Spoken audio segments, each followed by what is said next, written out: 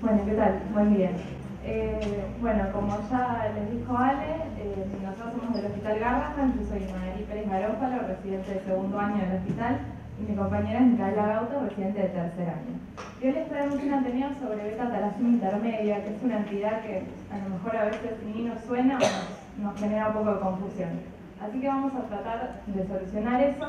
Vamos a ir desde cómo sospechamos una beta-talasemia intermedia, cómo la diagnosticamos y después qué significa eso para el paciente y cómo lo va a manejar. ¿Se escucha bien? Sí. Bien. Bueno, vamos a arrancar con un casito clínico que nos va a acompañar durante todo el Ateneo. ¿sí? Tenemos una paciente que llega al servicio de hematología y oncología del hospital, una paciente de 4 años y 6 meses, viene derivada de Trenkelauken y viene para control clínico y el estudio de una posible anemia. Como antecedente, su papá dice haber sido diagnosticado en algún momento portador de beta-talasemia, pero no trae ningún estudio que compruebe eso. Siempre es muy importante y se le da muchísima importancia en el servicio a lo que es el interrogatorio inicial del paciente, que nos va a ayudar a obtener muchísima información sobre el paciente y nos va a orientar un montón después al momento de hacer el diagnóstico. Así que se pregunta sobre el embarazo, sobre cómo fue el parto, cómo fue el desarrollo del chico, si tomó leche materna, cuándo la dejó, cuándo empezó a alimentarse, si recibió todas las vacunas, si tuvo ictericia en algún momento, le preguntan si se puso amarillo el chico alguna vez. Todo eso es sumamente importante. Eh, con respecto a ella, como ven, en el embarazo había sido totalmente normal, no estaría funcionando. Eh, con respecto a su alimentación, desarrollo, ninguna particularidad, ¿sí? Eh, y sus vacunas completas. Lo que sí se hace, bueno, el examen físico, totalmente normal, pero sí presentaba un poco de palidez, ¿sí? pero bien perfundida. Otra cosa que es sumamente importante eh, para el estudio de, una hemoglobinopatía es eh, conocer a toda la familia. ¿sí? Esta nena tiene una hermanita de 3 años, tiene a su papá, la mamá no vino a la consulta porque estaba separada, y después tenemos a todo el resto de la familia, ¿sí? que es una familia muy numerosa. El papá no recuerda ningún antecedente de importancia en todo el resto de la familia. Así que ahora vamos a empezar estudiando primero a nuestro propósito, que es nuestra nena de 4 años, al papá y al hermanito. ¿sí? Lo primero que miramos es el frotis. Acá tenemos el núcleo linfocito como para darnos una idea del tamaño de los glóbulos rojos y nos vamos a centrar en este, ¿sí? en la serie roja nada más en esta ocasión. Así que vamos a escribirla. Como pueden ver, se ve una anisocitosis moderada, se ve microcitosis ¿sí? e hipocromina. Eso es lo que más se destaca este, en este campo. También podemos ver, por ejemplo, eritrocitos. Acá hay un eritrocito con punteo basófilo, una target cell. En el laboratorio se utiliza un sistema de cruces para describir todo lo que es la serie roja y se le asignó a esta paciente, a este frotis, dos cruces de aniso, dos de micro, dos de hipocromía, dos de eritrocitos y una de punteo basófilo, target cells y ovalocitos. Bien. Después acá tenemos el hemograma de nuestra paciente. Como ven, ella eh, efectivamente tiene anemia, sí tiene una disminución en la hemoglobina. También podemos ver que hay una discrepancia en lo que es la concentración de matíes y la concentración de hemoglobina, porque yo para esta cantidad de matías esperaría una concentración de hemoglobina mayor. Después vemos que esto se acompaña por un BCM disminuido, HCM disminuido, así como un CHCM disminuido y un RDW aumentado. Todo esto coincide con lo que vimos ya en el frente. Así que nuestra paciente tiene entonces una anemia microcítica e hipocrónica. Seguimos con el papá y el hermano. Fíjense que también tienen anemia los dos, están acompañados de un BCM bajo, un HCM bajo y también un CHCM disminuido, así como un AD aumentado. Me fui con el otro lado. Como ven, la morfología era eh, similar a los tres, ¿sí? Tenían todos más o menos el protis, tenía todos la misma pinta. Así que los tres tienen una anemia microcítica hipocrónica. Ahora tenemos que estudiar la causa de esta anemia. Así que ya estábamos medio orientados, teníamos una sospecha, pero tenemos que definirlo. Siempre que tenemos una anemia microcítica hipocrómica, lo primero que tenemos que descartar es una anemia ferropénica, que es la causa más frecuente de anemia microcítica hipocrómica. En el caso de nuestra paciente, también del papá y del hermano, el metabolismo del hierro dio totalmente normal, así que con eso ya lo descartamos y nos quedamos tranquilos. Y ahora sí podemos pensar en el diagnóstico, el posible diagnóstico de una talasemia. No se olviden que estas dos patologías no son las únicas que pueden cursar con anemia microcítica hipocrónica. También tendríamos que pensar, según el contexto clínico del, paciente y la sospecha, en una hemoglobinopatía de tipo cualitativa o una anemia siderológica. Pero estas son las causas más frecuentes que podemos considerar. Muy bien. Para eso hacemos entonces una electroforesis en gel de agarosa, pH alcalino, que se hace, si recuerdan, a pH 8,5 con glóbulos rojos lavados y molizados. Esta electroforesis nos va a permitir ver presencia o ausencia de bandas normales y también presencia de bandas anómalas si en el caso que las hubiera. Y siempre que hago una electroforesis en gel de agarosa, tengo que hacer la cuantificación de las fracciones de hemoglobina. Muy bien, entonces, en la calle 3 tenemos la corrida de nuestra paciente. ¿sí? En la 1 tenemos al papá y en la 2 al hermanito. Fíjense que las bandas están las bandas normales, la banda A, que es la mayoritaria, y A2, y en el caso del hermano se ve un poquito de banda de hemoglobina fetal. Se hace la cuantificación y fíjense que la hemoglobina A2 le da aumentada 5,6% para un valor normal de entre 2,5 a 3,5%. Así que esto también ya nos estaría entrando a Bien, como para continuar con el, el estudio y sumar más, más análisis, hacemos la curva de fragilidad osmótica, que si se acuerdan era la concentración necesaria de cloruro de sodio para lisar el 50% de los glóbulos rojos en agua. Como pueden ver acá, nuestra paciente dio con una, siempre lo comparamos con un normal, con una deviación hacia la izquierda, así una fragilidad osmótica disminuida. Esto significa que sus glóbulos rojos son resistentes. Y esto es algo que se da en las metatalacemias por el daño que sufren en la membrana de los eritrocitos. Así que eso también nos está orientando. Entonces, como para cerrar estos tres pacientes, teníamos el frotis de ella, que ya lo hablamos, teníamos el frotis del papá, fíjense que es muy similar, y el frotis del hermanito, que también son todos muy similares. Algo que no hablamos del papá y el hermano, al papá también le dieron glóbulos rojos resistentes, igual que al hermano, ¿sí? Y la hemoglobina A2, fíjense que le dio 5% al papá y 5,4% al hermanito. Así que los tres tienen un fenotipo muy similar. Muy bien, entonces, con estos ya podemos acercarnos, ya podemos hacer un diagnóstico. Tenemos entonces anemia microcítica e hipocrómica. Tenemos una hemoglobina 2 aumentada, ¿sí? Tenemos después las bandas normales presentes, no hay presencia de ninguna banda anómala tenemos esta discrepancia entre la cantidad de matíes y la concentración de hemoglobina.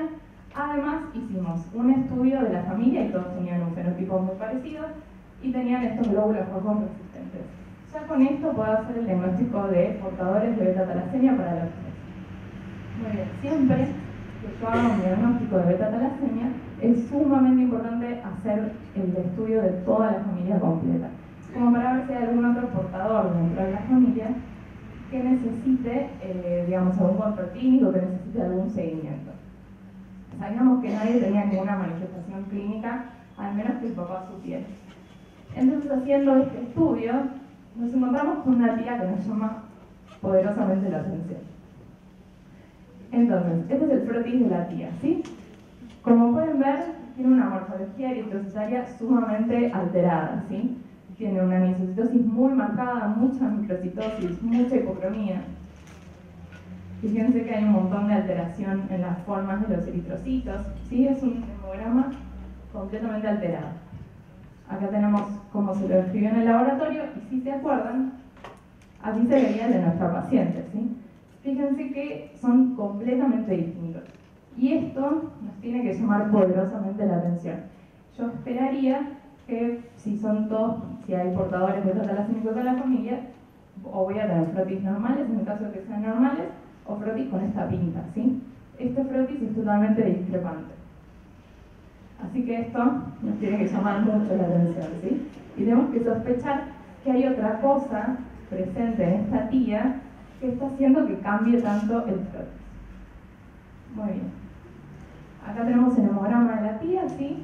Que como ven tiene una anemia un poquito más marcada, pero tiene un BCM disminuido, un HCM disminuido, por supuesto tiene un más aumentado, ¿sí? que lo veníamos en el frotis.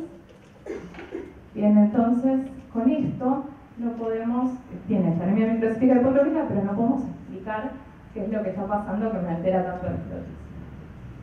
Podemos seguir estudiándola, igual que con el propósito. Le hacemos la electroforesis en gel de agarrosa también. Fíjense que también le da aumentada la hemoglobina 2, pero ni idea qué está pasando. Y seguimos. ah, con razón. Qué complejo esto. Ahí. Entonces, hacemos la curva de fragilidad osmótica, también le dan glóbulos rojos resistentes, ¿sí? Seguimos sin saber qué pasa. Entonces, tenemos este frotis que es muy diferente a todo el resto de la familia, ¿sí? Y eso es lo que nos alerta y nos dice que hay algo más. Como con todos los estudios que hicimos no podemos tener ninguna respuesta, vamos a tener que recurrir a la biología molecular. Yo ahora les voy a contar qué le dio la biología molecular a esta paciente, que básicamente quiero que se queden con eso en la cabeza, así después más adelante vamos a ver qué significan todas estas cosas que encontramos. Y vamos a recurrir a esto también. Entonces tiene, encontramos que es heterocigota para una mutación en el gen beta, en el gen que codifica para la beta globina, que es la mutación con 39, sí heterocigota. Y además encontramos una mutación en el, encontramos en el gen alfa una alteración que es la presencia de estos genes alfa triplicados. Con esto, este proteína está alterado la clínica, que en realidad era solamente la anemia microcítica hipocrónica, la discrepancia con respecto a la familia y estas, estos dos datos, podemos hacer el diagnóstico de beta-talasemia intermedia. Así que ahí llegamos a lo que nos compete hoy en la TENEMIC. Ahora les voy a contar un poco más de qué se trata. Hola. Bueno, yendo a la definición, la beta-talasemia intermedia es una hemoglobinopatía de amplio espectro clínico que va a surgir en la presencia de una o dos mutaciones en el gen HBB, que es el que codifica para la cadena de beta-globina, y que va a estar asociada a modificadores genéticos secundarios y o terciarios. Entonces, desglosando un poco esto, es una hemoglobinopatía hereditaria porque vamos a tener una alteración en el patrón normal de expresión de los genes de globina, y dentro de estas va a ser una beta-talasemia porque el problema principal que van a tener estos pacientes es una síntesis reducida o ausente de cadenas de beta-globina. Esto va a llevar a un desequilibrio entre las cadenas de globina alfa y las no alfa, ¿no? Pero en estos pacientes con beta-talasemia intermedia van a ser los modificadores genéticos secundarios y terciarios que vayamos encontrando los que, por un lado, eh, contribuyan a este desequilibrio y expliquen las manifestaciones clínicas. Para recordar brevemente, la hemoglobina es básicamente un tetrámero formado por cuatro cadenas de hemoglobina, siempre van a ser dos alfa y dos no alfa. Este es un cuadro que eh, grafica la síntesis de cadenas de hemoglobina en función de la edad. Y lo que tenemos que tener presente es que en el recién nacido, la fracción mayoritaria de hemoglobina está formada por hemoglobina fetal, ¿no? Está formada por dos cadenas alfa y dos cadenas gamma. Pero a partir de los seis meses de vida este, ocurre el switch de hemoglobina y entonces eh, pasamos a tener como fracción mayoritaria de hemoglobina la hemoglobina A, que está formada por dos cadenas alfa y dos cadenas beta. Esto es importante tenerlo en cuenta porque nosotros vamos a buscar pacientes con beta talasemia en aquellos que empiecen a tener manifestaciones clínicas a partir del sexto mes de vida, no antes. Bien, esto es lo que ocurre normalmente, pero debido al desequilibrio entre cadenas alfa y beta, lo que vamos a tener es una menor proporción de hemoglobina A y cadenas alfa que se van a empezar a acumular. De acuerdo al grado de este desequilibrio, uno va a poder tener distintos fenotipos de beta-talasemia. Podemos tener en el extremo menos eh, grave un paciente portador de beta-talasemia, en el otro extremo un paciente con beta-tala mayor, y en el medio van a estar nuestros pacientes con beta-tala intermedio. Recién en 1955 este grupo de médicos eh, describe por primera vez a los pacientes con beta-talasemia intermedia como pacientes que eran eh, muy severos para ser talasémicos menores, pero no tan graves para ser talasémicos mayores. Y es por eso que muy originalmente los talasémicos intermedios. Son pacientes que se presentan con palidez, ictericia y en algunos casos esplenomegalia, deformaciones óseas. Todos van a tener anemia microcítica hipocrónica que se va a ver reflejada en el frotis. Eh, y en la electroforesis de hemoglobina vamos a tener una A disminuida y la dosis fetal normales o aumentadas. Lo que suele hacerse con estos pacientes es clasificarlos de acuerdo al fenotipo. Podemos tener pacientes con fenotipo leve que puede que no tengan manifestaciones clínicas hasta la adultez y son pacientes que no van a recurrir a transfusiones. Y después tenemos pacientes más severos que estos sí pueden empezar a tener manifestaciones clínicas desde la infancia y que ocasionalmente van a necesitar transfusiones para poder compensar la anemia. Lo que es importante tener en cuenta eh, para el diagnóstico y para entender a la intermedia es esto, la alteración genética. Esto es lo que nos va a, explicar, digamos, todo. Porque un portador de beta-talasemia va a tener solamente un alelo de beta-globina afectado. El paciente con beta-mayor va a tener ambos alelos con mutaciones graves. Pero el paciente con beta intermedia puede tener ambos genes mutados, pero sumado a modificadores positivos que mejoren el desequilibrio alfa-beta y entonces alejen el fenotipo de lo que sería un mayor, o pueden tener un alelo afectado como un, portador, pero sumado a modificadores negativos que empeoren el cuadro y entonces las manifestaciones clínicas van a ser más graves.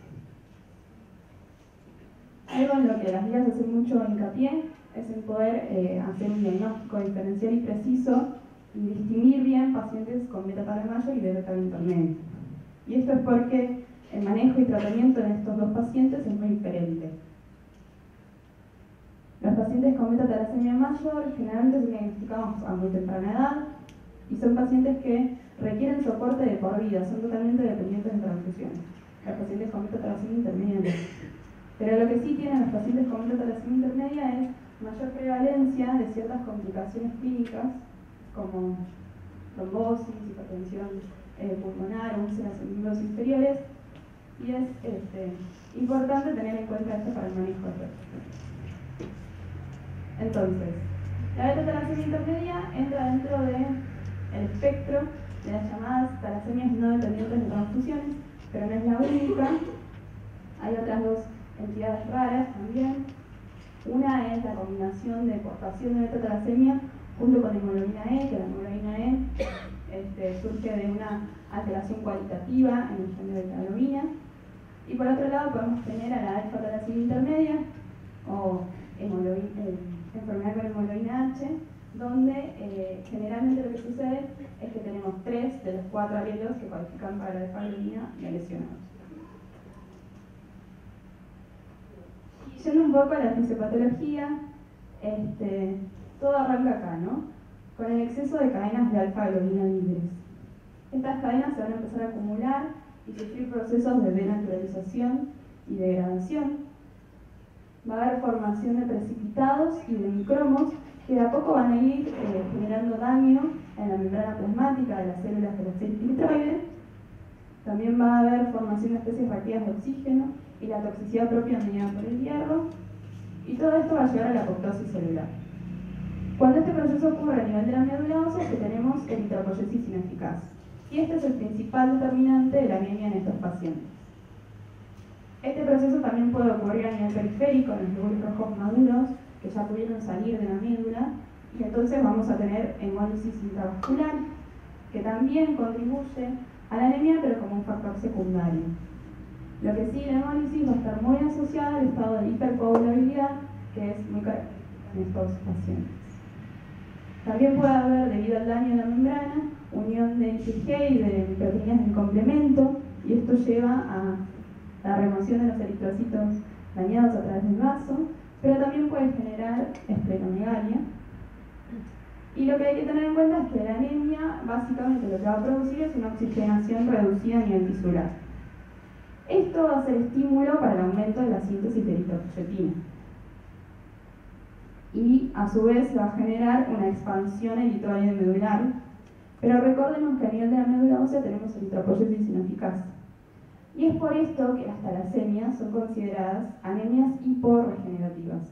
Porque si bien tenemos un estímulo para la síntesis de la sed eritroide, debido a la eritropoyesis ineficaz, la médula nunca va a poder compensar esa necesidad del organismo. La expansión eritromedular va a estar asociada a deformaciones óseas y osteopenia en estos pacientes y también va a generar un aumento en la absorción intestinal del hierro, que el hierro también es necesario para la síntesis de la hemoglobina, pero esto puede llevar a sobrecarga de hierro en los pacientes. Lo que hay que tener en cuenta es que todo este proceso es común a todas las beta-talasemias, pero la gravedad de las manifestaciones clínicas va a estar directamente relacionada al grado de exceso de cadenas de alfa libres.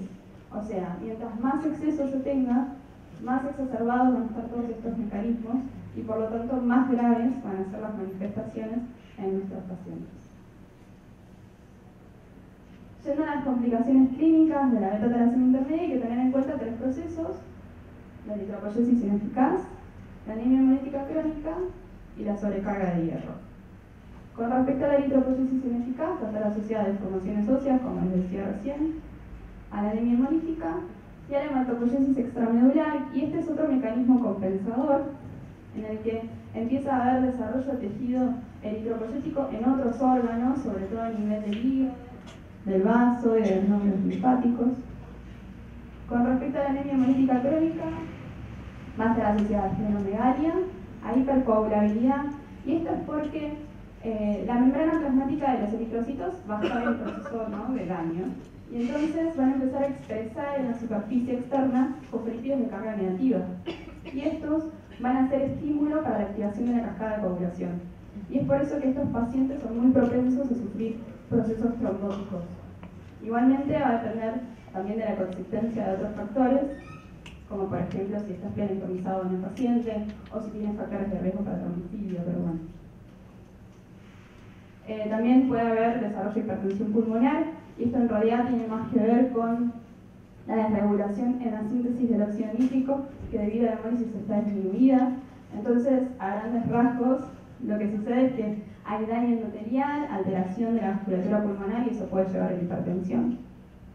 Las úlceras en miembros inferiores, que generalmente se dan en pacientes más añosos, y esto se asocia mucho a la disminución de la oxigenación tisular, sobre todo a nivel distal, que hace que eh, la, piel empiece a adelgazarse y sea más frágil y más propensa a lesiones, aún con traumas mínimos. Y la colelitiasis, que también es un problema en estos pacientes.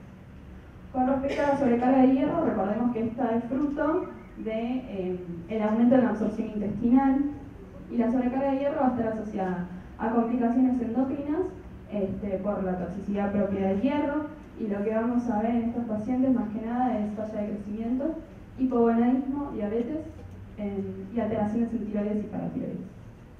Y también falla cardíaca, eh, también por la toxicidad propia del hierro. Estas complicaciones clínicas eh, se van a ir manifestando con más gravedad y más prevalencia en los pacientes más adultos, digamos, a medida que se, que se hagan más adultos. Y a nivel molecular, ¿qué es lo que pasa? Bueno, eso es lo que nos preguntamos con Britney y ahora voy un poco. Bueno, entonces se acuerdan que yo les había dicho que esta tía de nuestro paciente tenía una alteración a nivel del gen beta, heterocigota en el CON 39 y una alteración en el gen alfa, unos genes alfa triplicados. Entonces vamos a ver un poco de qué se trata todo esto. Para eso recordemos cómo estaban organizados estos genes en los clústeres alfa y beta. Teníamos en el cromosoma 11 el gen beta eh, organizado, ubicado en el clúster de la beta globina, que también tiene los genes gamma y el gen delta. ¿sí? Y después en el cromosoma 16 teníamos a los genes alfa, que recuerden que eran dos genes alfa por cada alelo. En el gen beta lo vamos a llamar gen HBB, que es el que codifica para las cadenas de beta globina. Y después tienen la región regulatoria denominada LSR, que regula todo el clúster de la beta globina. Recuerden que estos genes de cadenas de globina están organizados en los clústeres en el orden en el que se expresan durante el desarrollo. ¿sí? Acá tenemos al gen HBB, el gen que codifica para la beta-globina, que está organizado en tres exones y dos intrones, tiene su región, su región promotora, y abajo tenemos ejemplificadas algunas de las mutaciones puntuales que están descritas que causan beta-talasemia. Eh, beta ¿sí? Tiene una longitud de 1600 pares de bases y codifica para 146 aminoácidos. En el exón 2 tenemos codificados el sitio de unión al grupo hemo y el sitio también que es responsable de la formación del dímero alfa-beta. Muy bien, podemos tener distintos alelos causantes de la beta-talasemia. ¿Cuáles eran estos? Repasemos. Teníamos los alelos beta-0 en los que la mutación genera una síntesis nula de las cadenas de beta-globina. Por ejemplo, en general son mutaciones puntuales en los exones 1 o en el 2 y el sitio de splicing o en el codón de iniciación. Un ejemplo, y el más frecuente en nuestro medio, es la mutación en codón 39, que se da a nivel del exón 1 y genera un codón stop. Si Esta mutación, este cambio de base genera un codón stop, evita que se sintetice el ARN mensajero y por lo tanto que tengamos síntesis de la cadena de beta-globina. Después tenemos los alelos beta más, en los que la síntesis está reducida. Dentro de esto podemos encontrar los alelos beta silentes con mutaciones silentes y después podemos diferenciar entre reducción marcada y llamarlos beta más o reducción leve, la síntesis, y llamarlos beta más más. Esos son los dos alelos más frecuentes. Pero después también podemos tener alelos dominantes en los que la, digamos, la cantidad de beta-globina que se sintetiza es normal, pero las cadenas son inestables. El fenotipo de estos pacientes va a ser muy variable y va a depender del grado, de inestabilidad de las cadenas de beta, porque puede ser que hasta ni siquiera pueda formar los tetrámeros con la alfa-globina. Y después tenemos las grandes deleciones, donde podemos incluir, por ejemplo, las deleciones de todo el gen HBB o también de otros genes dentro del clúster de la beta-globina, como puede ser en la delta-beta-talasemia, que también se lesionan los genes delta. Entonces, ya Mika nos explicó que esta gran diversidad fenotípica de estos pacientes con beta-talasemia intermedia eh, va a estar dada por la existencia de modificadores genéticos que por distintos mecanismos van a modular básicamente el balance de las cadenas alfa y las cadenas no alfa y eso me va a definir las manifestaciones clínicas y hematológicas de los pacientes. Entonces, ¿cuáles son estos modificadores? Tenemos los primarios, que son todas aquellas mutaciones en el gen de la beta-globina. Después los secundarios, que son mutaciones en las, en las otras cadenas de globina que básicamente van a influir en el balance de alfa y no alfa. Y por último tenemos los modificadores terciarios, que son todos polimorfismos que no están relacionados con la síntesis de las cadenas de globina, pero que pueden modificar finalmente el fenotipo. Vamos a ir viendo cada uno de ellos. Entonces, dentro de los secundarios empezamos con la coherencia de la alfa-talasemia. Si recuerdan, en la alfa-talasemia podíamos tener relacionado un gen, dos, tres o todos, ¿sí? recuerden que, como en muchas poblaciones que la beta-talasemia es muy prevalente, también lo es la alfa-talasemia. Así que no es algo infrecuente que se hereden juntas y lo tenemos que tener muy en cuenta. Por supuesto, cuando hay lesión de algún gen de alfa, vamos a tener menos cantidad, menor síntesis de cadenas alfa y por lo tanto menor proporción de cadenas alfa. Y eso nos va a llevar el equilibrio hacia las cadenas no alfa y va a actuar como un factor atenuante, porque habíamos dicho que todas las manifestaciones dependían de cuánto era el exceso de las cadenas alfa. Por supuesto, el grado de atenuación depende mucho también de la severidad de los alelos en beta, y eso siempre hay que tenerlo en cuenta. Después, otro modificador secundario es la producción elevada de hemoglobina fetal. En general, no siempre en las beta-talasemias hay un aumento de hemoglobina fetal, puede haber un aumento de hemoglobina fetal. Y esto tiene que ver con una selección de lo que son los precursores eritroides que tienen mayor producción de cadenas gamma. Esta, digamos, esta respuesta de hemoglobina fetal en un beta talasémico depende de cuánto sea el aumento de la masa eritroide, de cuánto tiempo de sobrevida tengan estos precursores y los eritrocitos después que van a ir a circulación y que tienen mayor, mayor proporción de cadenas gamma, pero esto no tiene ningún impacto, digamos, en el fenotipo del paciente, es algo que ocurre a veces. Lo que sí puede llegar a tener un impacto son algunos factores genéticos que están relacionados con aumento en la síntesis de hemoglobina fetal. Dentro de estos podemos mencionar primero el polimorfismo XMN1, que en realidad es un polimorfismo que es muy frecuente, está presente en un tercio de la población, y lo que sí se vio es que en condiciones normales no está asociado a un aumento de hemoglobina fetal, en pacientes betatalasemitos, ¿no? Pero sí lo está en ciertas situaciones de estrés, puede favorecer la síntesis de mm, hemoglobina fetal. Después tenemos la persistencia hereditaria hemoglobina fetal, em, que eran de lesiones que involucraban el gen de la beta-globina y la delta beta-talasemia, para que recuerden, estos eran los fragmentos que se, perdían, tanto en la delta beta-talasemia como en la hemoglobina, en la persistencia hereditaria hemoglobina fetal. Y por último, Hay otros determinantes genéticos inscritos que están en otros locus, como puede ser el cromosoma 6 o en el X, que se cree que son moduladores de la transcripción de los genes gamma. Entonces, por supuesto, como vamos a tener mayor producción de cadenas gamma y de hemoglobina fetal, el equilibrio se nos va hacia las cadenas no alfa, así que va a actuar como un factor atenuante, va a mejorar el fenotipo del paciente. En el otro extremo tenemos estos genes alfa triplicados y cuadruplicados. Acá les voy a explicar un poco cómo se generan estos genes alfa triplicados, así como a grandes rasgos. Esto es el, este es el mecanismo más frecuente eh, por el que se generan los genes alfa triplicados, que básicamente se dan por un mal alineamiento de estas regiones homólogas, y X, Y, Z, estas regiones homólogas X y Z durante eh, la meiosis, en el próximo óvulo. Entonces, este mal alineamiento genera o que se den los alelos anti 4.2 o los alelos anti 3.7, sí que son los alelos más frecuentes de genes alfa triplicados. Entonces, como voy a tener genes alfa triplicados, voy a tener mayor producción de cadenas alfa y esto me va a actuar como un factor que empeora el fenotipo del paciente porque me lleva al equilibrio hacia las cadenas alfa. ¿sí? Lo que es importante tener en cuenta de estos genes alfa triplicados es que por sí solos un, individuo que los tiene no, les genera ninguna consecuencia, ¿sí? no tiene ninguna manifestación clínica. Así que su frecuencia no está muy bien definida porque solamente los buscamos cuando sospechamos una beta-talasemia intermedia. Así que no se sabe muy bien cuál es la frecuencia, pero se cree que son muy únicos. Y después tenemos los terciarios, sí que son todos los que tienen que ver con alguna alteración del metabolismo de la bilirrubina, del metabolismo del hierro, alguna enfermedad asociada o algún polimorfismo del sistema inmune que se cree que está asociado también a una coselección por la infección por malaria, que tiene que ver con la respuesta de un talasémico frente a infecciones. Muy bien, entonces, como para terminar de entender esto, vamos a ver si funciona.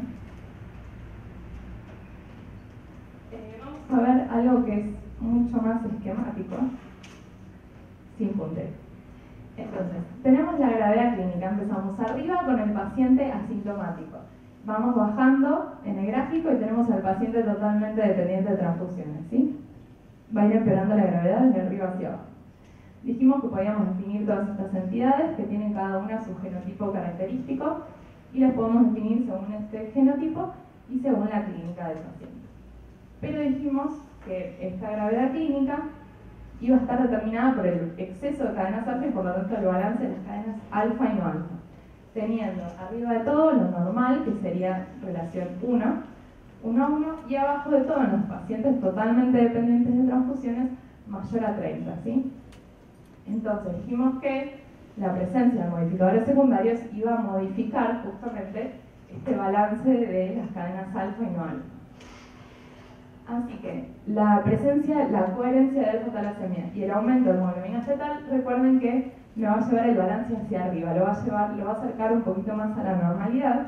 Y por ejemplo, si tenemos un paciente que tiene un genotipo de beta más homocigota, que va a estar ubicado ahí abajo en lo que es la gravedad clínica, si tiene coherencia de alta talasemia o una predisposición a mayor síntesis de hemoglobina fetal, va a subir en el gráfico de la gravedad clínica y lo vamos a poder ubicar dentro de beta talasemia intermedia.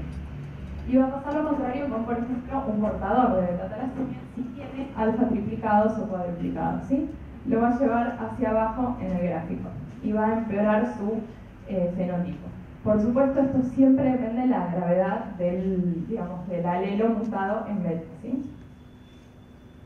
Como ven entonces, la beta-talasemia intermedia incluye, puede incluir digamos, un montón de, tiene un rango muy amplio de manifestaciones clínicas. Vamos a poder ir desde un paciente totalmente asintomático, cuyo único signo es la anemia microcítica hipocrómica, hasta un paciente que puede llegar a requerir transfusiones en algún momento. Muy bien, entonces, ¿cómo estudiamos a estos pacientes eh, desde el laboratorio de biología molecular? Primero vamos a buscar las mutaciones en el gen beta y después, si lo sospechamos, vamos a ir a buscar las mutaciones eh, en lo que es los modificadores. Vamos a ir a buscar los modificadores secundarios. Según la sospecha, vamos a buscar algún modificador que incremente el desbalance o algún modificador que lo disminuya. ¿sí? Vamos a buscar o genes alfa triplicados cuadruplicados, o esta coherencia de alfa-talasemia o el aumento de producción de hemoglobina fetal. Muy bien.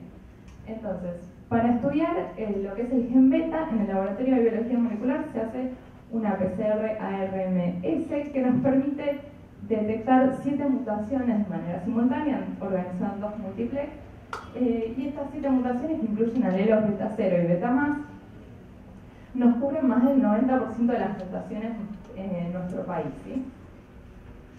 Básicamente les explico así rápido qué es lo que tenemos que ver en esta PCR. Vamos a usar dos pares de primers para un alelo normal y dos pares de primers para el alelo mutado. Así que para cada control o cada paciente vamos a tener en la electroforesis una calle que es el alelo normal y otra calle que es el alelo mutado. ¿sí? Así que si hay presencia de banda significa que tengo el alelo normal y en la calle del alelo mutado si tengo presencia de banda, significa que está el alelo mutado. Entonces, ahí está. Acá tenemos un normal en el lado del lado izquierdo, ah, y por supuesto los distintos pesos moleculares nos van a ayudar a identificar cada una de las mutaciones. ¿sí? En, esta multiplex entonces vamos a estudiar todas estas mutaciones en el intron 1, posición 116 y en COD 39. Arriba tenemos un control interno para ver si la PCR eh, estuvo bien en sus condiciones. Y del lado izquierdo tenemos entonces lo que es el alelo normal. Y acá tenemos el alelo mutado. Fíjense que en un normal tenemos presencia de todas las bandas y ninguna banda en lo que es el alelo mutado. Ahora, ¿qué pasó con nuestra paciente? Fíjense que en el alelo normal tiene presencia de todas las bandas, pero en la calle del alelo mutado tiene una banda a la altura de contra Lo mismo nos pasa con el hermano, con el papá y con la tía también. ¿sí? Así que, bueno, aparte la la otra les dio totalmente normal. Así que con esto ya decimos que son los cuatro heterocigotas para contra ¿sí? Muy bien, ahora para el análisis de estos genes alfa triplicados que les había dicho que tiene la tía, se hace una PCR en un único tubo que nos permite eh, detectar el ACTI 3.7 y el ACTI 4.2 que les había mencionado, que son los mecanismos más, eh, digamos, que se generan por el mecanismo más frecuente de estos alfa triplicados. Entonces, básicamente, cuando haya presencia de genes alfa triplicados, tengo amplificación. Cuando no hay, cuando la alelo es normal, no hay amplificación. Como siempre, tenemos un control interno, que es la primera banda, y si hay amplificación va a haber una segunda banda, ¿sí? Si hay, digamos, presencia de genes alfa triplicados, va a haber una segunda banda. ¿Qué pasa entonces con nuestro propósito? Tiene una sola banda, normal, el hermano también una sola, el papá también, y la tía tiene esta segunda banda que nos está diciendo que tiene presencia entonces de genes alfa triplicados. Con esto yo solamente puedo decir si están o no están, no puedo decir si es heterocigota o homocigota, para eso tengo que hacer una técnica de MLPA que me va a decir cuánto es ese exceso de genes alfa. Muy bien, otras técnicas que se pueden hacer en caso de que no se encuentren estas mutaciones, eh, se pueden hacer siempre PCR secuenciación si no encuentro ninguna de las siete mutaciones más frecuentes, se puede hacer el gen de la beta globina, como les dije se puede hacer en MLPA, se puede hacer GAP-PCR para buscar eh, los genes alfa de lesionados, en el caso de que yo sospeche una alfa-talasemia, se puede buscar esa variante genética que les había contado el XMN1, ese polimorfismo, por PCR-RFLP y siempre se puede recurrir a la secuenciación de los genes. Entonces, vamos a cerrar el estudio de esta familia. Como se acuerdan, una familia muy numerosa, hicimos el estudio molecular de todas las familias. Fíjense, acá tenemos en violeta, en lila, vamos a tener a todos los que son con 39 heterocigota en fucsia vamos a tener a todos los que son alfa triplicados y los celestes son normales. Entonces, acá teníamos a nuestro propósito que era heterocigota para primero. Lo mismo del hermano, lo mismo del papá. Y acá tenemos esta tía que tenía ese frotis tan feo. Entonces, con este estudio descubrimos que esos dos alelos venían de su mamá, que tiene también el, es heterocigota para 39 y tiene los genes alfa triplicados y vemos que una de sus hijas heredó ambos alelos y su otra hija solamente heredó los alfa triplicados. Así que pueden ver que tenemos un montón de opciones. Sí pueden heredar los dos alelos como uno o el otro. Y descubrimos también otra tía de, nuestro propósito que tiene este genotipo, así que tiene alfa y con 39. Estas cuatro mujeres tenían las cuatro un frotis muy similar, así con mucha alteración en la morfología eritrocitaria y totalmente discordante con el resto, con los frotis del resto de la familia. Así que fíjense lo importante que es el estudio familiar, porque de estudiar a una nena que tenía que era portadora de beta-talasemia, descubrimos cuatro personas que tienen beta-talasemia intermedia y que quizá necesiten un control clínico y un seguimiento un poco más exhaustivo. ¿sí? Así que con esta familia terminamos, pero mi va a un poquito más.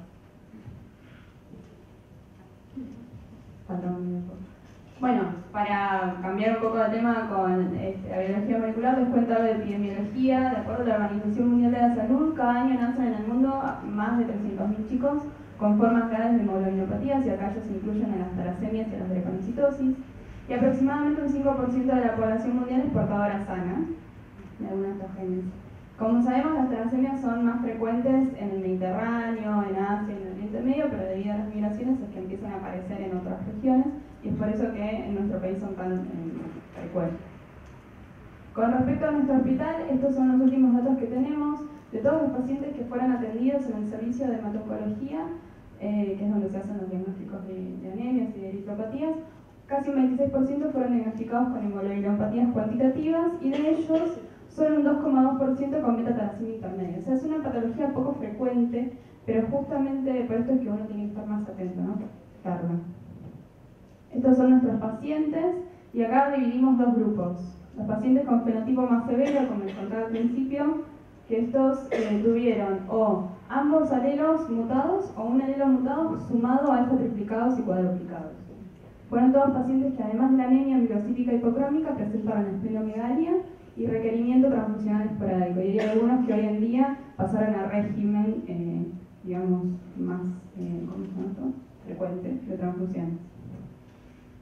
Después tenemos este otro grupo que son pacientes con un fenotipo leve que tuvieron este, un solo alelo mutado sumado a alfa y solamente presentaron anemia microcítica hipocrómica. Y esta última paciente ahí en el fondo es un caso particular porque Mira la consulta con manifestaciones super leves, anemia microcítica hipocrómica. Cuando se hace el estudio genético se encuentra que tenía ambos alelos de beta globina mutados con una mutación beta 0, que es la con 39, la misma que tiene nuestra familia. Y entonces uno esperaría que esta paciente tuviese un fenotipo de beta talasemia mayor, porque tiene ambos alelos beta 0. Sin embargo, no. Además, en el frotis de sangre en el, perdón, de hemoglobina, eh, tenía un 88% de hemoglobina fetal, que esto también es como concordante con un paciente con mayor. Se empezaron a buscar modificadores genéticos que expliquen el, fenotipo de la paciente y se encontraron estos dos genotipos que están asociados a mayor aumento de síntesis de cadenas gamma y que por lo tanto generan una mayor síntesis de hemoglobina fetal y con eso se cerró el fenotipo de la paciente y se hizo el diagnóstico de beta-talasemia intermedia también en este caso. Algo que nos fuimos preguntando en la hora anual del Ateneo era si existe un tratamiento ideal, si es el mismo para todos los pacientes, y la verdad es que no. Las últimas guías de diagnóstico y tratamiento de beta-talasemia intermedia hacen hincapié en dos conceptos. Primero, que el tratamiento es totalmente personalizado, va a depender de cada paciente en particular, de sus manifestaciones, de la gravedad de cada manifestación. Y por otro lado, no hay demasiados ensayos clínicos este, disponibles o que se la jueguen más por una opción terapéutica que por otra. Entonces también depende del médico y de las opciones este, disponibles en un médico. Pero bueno, lo que se puede hacer son transfusiones, y como venimos diciendo desde el principio, estos pacientes no son dependientes de transfusiones, pero pueden requerirlas de manera ocasional, sobre todo en situaciones de embarazo, cirugía, infecciones o cuando se empiezan a ver este, manifestaciones clínicas más graves. La terapia quelante para eh, controlar la sobrecarga de hierro y acompañar a las transfusiones. La esplenectomía, que en realidad no es una opción terapéutica muy popular porque recordemos que estos pacientes tienen un estado de hipercoagulabilidad ya por su beta intermedia la esplenectomía lo que haría sería sumar un factor de riesgo para trombosis, entonces en realidad no es que se recurre mucho, pero bueno, es una opción. La modulación gamma, que este, lo que busca es aumentar la síntesis de cadenas de gamma globina y por lo tanto de hemoglobina fetal mediante la administración de distintos compuestos, como por ejemplo la hidroxiurea, que es lo mismo que se hace en los pacientes con drepanocitosis, bueno, está escrito para pacientes con metatalasemia intermedia y también la administración de eritropoyetina recombinante. Y otras opciones, el trasplante de células progenitoras hematopoyéticas, pero que en realidad se guarda para pacientes más graves dependientes de transfusiones, y la suplementación dietaria, sobre todo con vitamina D y calcio, para controlar la osteoporosis y la osteopenia. Esto sí es algo que les queríamos por mostrar, este, que resulta interesante porque uno pensaría que los pacientes con metatana intermedia, como tienen un fenotipo más leve que los pacientes con metatana mayor, deberían tener una mejor calidad. Y la realidad es que no. Este estudio lo que hizo justamente fue eh, comparar distintos indicadores de calidad de vida física y mental entre estos dos grupos de pacientes y encontraron que eh, para cada indicador siempre los pacientes con metatala intermedia tenían puntajes menores que los pacientes con metatala mayor. Y ellos vieron que la única variable independiente asociada a esta tendencia era que los pacientes con metatalasemia mayor tienen más tiempo de conocimiento de su patología. Y esto porque el diagnóstico se hace más temprano arrancan con el tratamiento desde chiquitos, tienen más tiempo de acostumbrarse a cómo se manejan, este, y eso como que termina eh, producir mejor calidad de vida, ¿no? Este, los pacientes con metatalasemia intermedia no, es todo lo contrario, y además tienen mayor prevalencia de complicaciones múltiples. Entonces, por eso es es tan importante desde el laboratorio nuestra labor este, estar atentos a estas patologías y si algo me ha servido, seguir como buscándole por qué la vuelta, ¿no? porque todo va eh, digamos, a ser en beneficio del, paciente. Parece que no hay mucho para hacer, pero bueno, el consejo genético es una de las herramientas más útiles que tenemos. En el servicio dermatónico del hospital se hace mucho hincapié en esto. Una vez que se hace el diagnóstico, se habla con el paciente y con la familia y se trata de que se entienda, que entiendan este, que tienen una patología hereditaria ¿no? y todo lo que esto conlleva para nosotros parece una probada, pero en una pareja que planea tener un embarazo, si un padre es portador de tetalasemia, tenemos un 50% de probabilidades de que el hijo sea portador también. Pero si ambos padres son portadores de, beta además sumamos un 25% de probabilidades de que el hijo sea eh, de tetalasémico mayor. Y lo mismo ocurre con la beta intermedia y con todas las hemoglobinopatías hereditarias.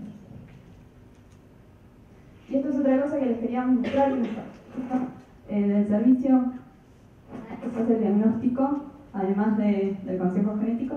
A cada paciente se le da esta hojita que tiene información en un lenguaje súper sencillo acerca de qué es, en este caso, ser portador de beta-talasemia. Cosa de que si el paciente tiene alguna duda, consulta de su patología, puede recurrir acá y leerlo y sacarse esas dudas porque la información para el paciente, que el paciente entienda qué es lo que tiene, es digamos, lo más importante para su manejo. ¿no? Entonces explica que es una patología hereditaria, que nunca va a dejar de tenerla, pero que tampoco es contagiosa. Y se hace mucho hincapié en el consejo genético, en el estudio de las parejas antes de, de planear un embarazo. A los pacientes, una vez diagnosticados, vienen una vez por año por lo menos hacerse un control y se hace, como que se insiste mucho este, en el estudio de las parejas. Y también en poder ampliar el estudio de todo el grupo familiar para poder detectar si algún otro familiar, pariente, que tenga también esta este, hemoglobinopatía. Y el caso clínico que les traemos hoy, como decía May, es como eh, prueba ¿no? de esto, de que es importante tener estas consideraciones porque de no haberse ampliado el estudio a todo el grupo familiar, no se hubiese podido hacer el diagnóstico ni de la tía, ni de la abuela, ni de la otra tía de beta talasemia intermedia. Así que bueno, cerrando un poco, este, les dejamos estas conclusiones, que la beta talasemia intermedia es un síndrome, si bien poco frecuente, de gran complejidad, que requiere una identificación temprana y correcta, que debemos estar atentos a la clínica, el hemograma y sobre todo el frotis de sangre periférica para poder este, sospecharla y diagnosticarla, que van a ser las herramientas de biología molecular las que nos permitan explicar de manera precisa el fenotipo del paciente, que es necesario que el paciente entienda la naturaleza de su patología y poder tener un seguimiento cercano del equipo de salud para mejor manejo y evolución, y que el consejo genético correcto y a tiempo es lo único que nos puede ayudar en la prevención. Esto es un poco de bibliografía que consultamos. Y aprovechamos para agradecer al servicio dermatológico del hospital. Muchos de ustedes han rotado o van a venir a rotar ahí y saben que es un servicio que, que cuenta con profesionales este, de 10 que se preocupan mucho por los pacientes. Es un placer rotar por ahí y nos ayudaron un montón en, el armado que tenemos. También a la gente de biología molecular de anemia y hemostasia, a nuestras compañeras, becarias y residentes. Y bueno, muchas gracias a todos por su